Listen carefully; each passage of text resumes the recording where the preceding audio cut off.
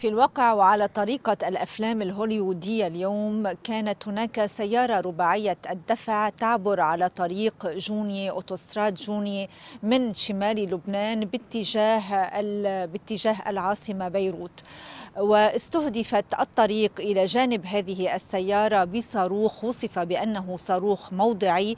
أحدث حفرة صغيرة جدا في الطريق وكانت هناك شظايا على الأبواب أبواب السيارة. بعد ذلك نزل شخصان كانا في داخل السيارة وتوجها إلى الحرج المجاور على اليمين ولكن أيضا بصاروخ آخر من مسيرة إسرائيلية تم استهداف هذين الشخصين. يتردد أن هناك صاروخين استهدفاهما وأديا إلى سقوطهما.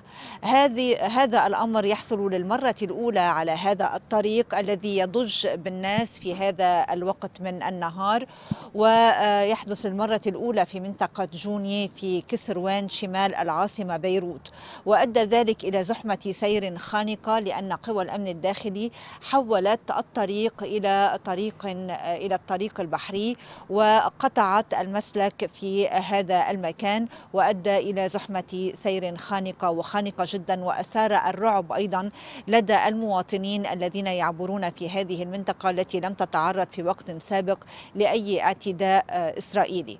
هذا الأمر يكشف أن قوات الاحتلال الإسرائيلي مصممة على ملاحقة الأهداف التي حددتها وذلك في أي منطقة من المناطق اللبنانية سواء من خلال المسيرات السيارات وأيضا من خلال الطيران الحربي الإسرائيلي الذي يوقع المزيد من المجازر أيضا في المناطق اللبنانية.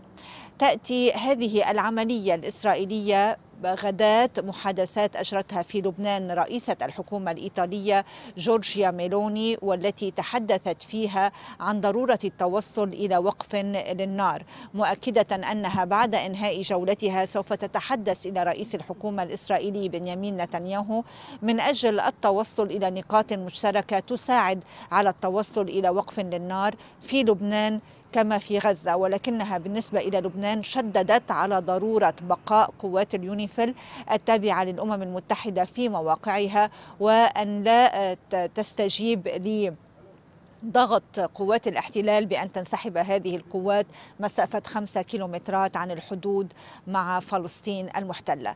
إذا الوضع لا يزال على حاله من التوتر الكبير من الاحتقان الكبير من العمليات المتنقلة الإسرائيلية وسط جهود دبلوماسية لا يبدو أنها ستؤدي قريبا إلى نتيجة إلى فرج معين وذلك وسط معلومات بأن أمين عام جامعة الدول العربية سوف يأتي إلى لبنان وتكون له محادثات أيضا بعد غد الاثنين وكذلك بالنسبة إلى المبعوث الرئاسي الأمريكي إيموس هوكستين أيضا تحدثت معلومات عن إمكان قيامه بزيارة إلى العاصمة بيروت.